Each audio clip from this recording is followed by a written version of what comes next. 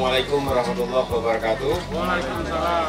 Para petani yang kami eh, muliakan, yang mana yang petani? Ya berdiri. Yang mana? Soalnya petaninya ganteng-ganteng dan cantik-cantik semua, jadi agak pangling juga ya.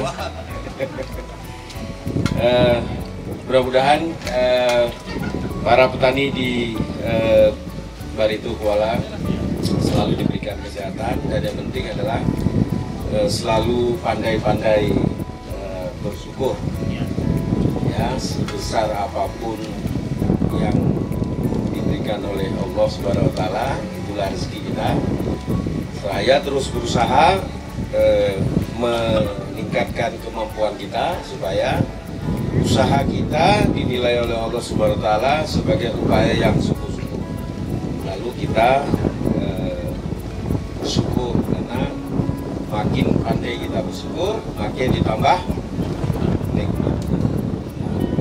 Dan jangan lupa juga kalau sudah panennya bagus, ya jangan lupa bayar zakat, ya supaya selalu dirahmati Allah, ya itu tanda kita mensyukuri kita nikmat kita. Fabi'ai ala nikmat